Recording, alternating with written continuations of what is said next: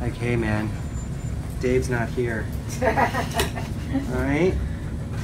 Hey everyone, it's Dr. Mike, the Bowtie Vet Guy. Today I'm going to answer all your questions about marijuana in dogs.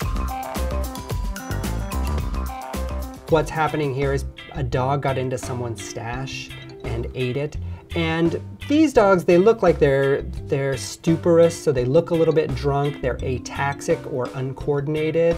Um, they might um, giggle a lot, eat Cheetos, they might change their major from engineering to philosophy. We don't have any legal requirements to turn people in for this. And in a lot of states, it's, it's legal anyway. So it's not a big deal, just tell us. Probably the most important reason to tell us, at the very beginning, when they're very sort of ataxic and look a little drunk, that can actually look like ethylene glycol toxicity. Ethylene glycol toxicity is extremely deadly to dogs, so we want to know which thing we're dealing with right away. One of the interesting things about marijuana is that it is stored in fat. So for some dogs, the effects can last a day or 12 hours, and some dogs it'll last up to 72 hours. So it can be a really long time. I don't think cats are as big of a problem because not a lot of people are giving it to cats.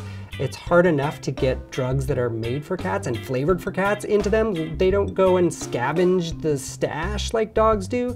Dogs will eat anything. They'll eat dirty socks. So we don't see toxicity in cats really at all. If you know that your dog ate some marijuana, definitely bring it into the vet. We can assess it and find out if we think it's been too much, if the dog's acting weird, and we can get the right treatment started right away. The second part of this question that I get all the time is there are a lot of states now that have medical marijuana use, and there are even dog treats out there now that are medical marijuana. Now there's two parts to the marijuana. There's the THC part, which is the psychoactive, get in your head part and makes you have the high, and then there's the CBD part, which has some of those effects such as uh, decreasing vomiting, making you a little less anxious, maybe even helping with arthritis.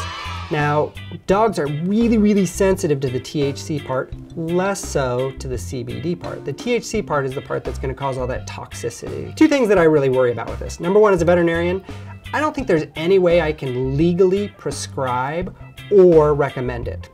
None of the state laws out there are covering veterinarians. They're all for humans. And the second part of that, and this is probably the more important part to me, is that there really aren't any good studies on CBD in dogs. We don't know how well it's absorbed. We don't know how it interacts with other drugs. We don't know how long it takes to take effect. When I have a lot of I don't knows, it's not something I want to recommend a lot of. Why are there no studies? It's because it's really expensive to do studies and there's nobody to fund these studies.